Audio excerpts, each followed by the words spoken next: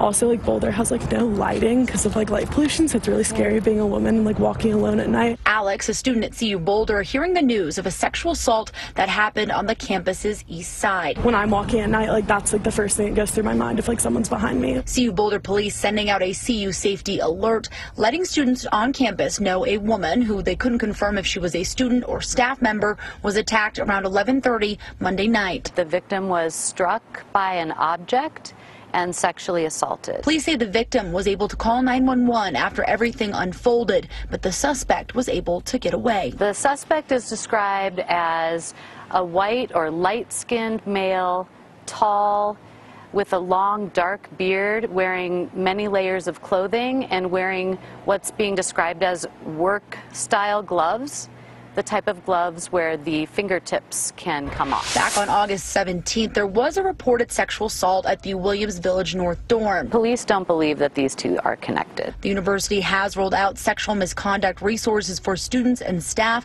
They're also asking those on campus to stay alert and use free resources to make it home at night. Utilize our CU night ride service. But Alex is asking university and police to do more to protect women walking home in the dark. Usually always on the phone with a friend. I have my flashlight on.